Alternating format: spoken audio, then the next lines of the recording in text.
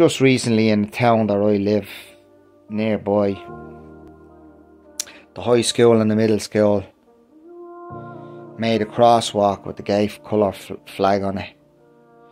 This is an abomination to God. Can you not see there's a big agenda behind what's going on here? They're ramming their belief systems down our children's throat, telling them that it's okay to wear the dress and to, you know, for another man to be with a man or a woman to be with a woman. This is an abomination to God.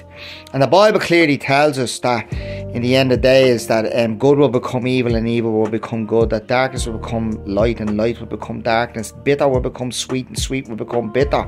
And this is what you're looking at now. Now, I have been a thorn in the devil's side on the streets around here. All glory to God, because this man of God will not stop speaking the truth of the holy word of the living God. Jesus is.